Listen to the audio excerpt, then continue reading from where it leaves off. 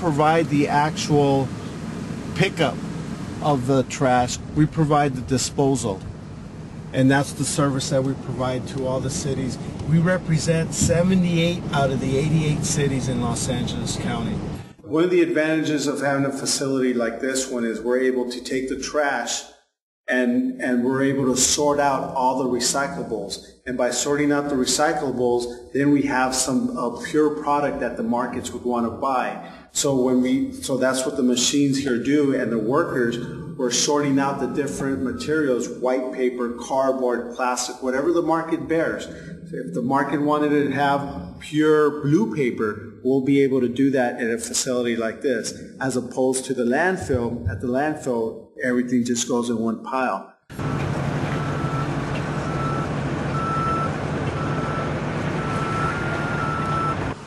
Compressed natural gas, or CNG, is the is the gas where they they're able to get the methane gas from the landfill and put it in a process to compress it and it's used to fuel our vehicles. All of our small carpool vans here at work, our small vehicles like water trucks at the landfill are all fueled on compressed landfill gas. So in essence, we generate our own fuel up there. Because we still had too much gas for these other two systems, we put in three internal combustion engines hooked to generators. We run two at all times, and that generates an additional six to seven megawatts of electricity.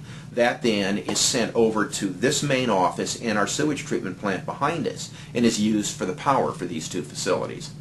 We're actually the 20th largest power generator in the state of California. Between generating power at our sewage treatment plants and at our landfill and solid waste facilities, we generate, uh, I think it's 113 megawatts of electricity. So what's happening here is basically a steam engine where we, where we bring water from our recycling, our water, our wastewater recycling treatment plant.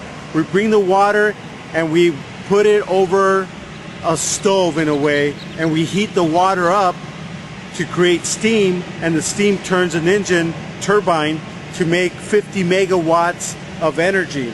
Now the gas that we use is the landfill gas. That's the methane gas. And what you, we have these green pipes located throughout the landfill with vacuums. We're sucking all this methane gas and we're bringing it to this location and that's where we burn it and that's where we're boiling the water.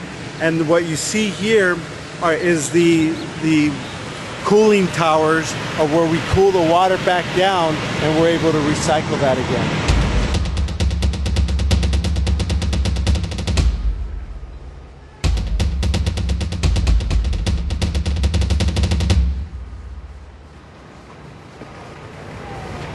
We make everything look so easy and really, if people recycled more and, and didn't make the trash to begin with, we wouldn't have to build so many structures like this. We wouldn't need as many MRFs.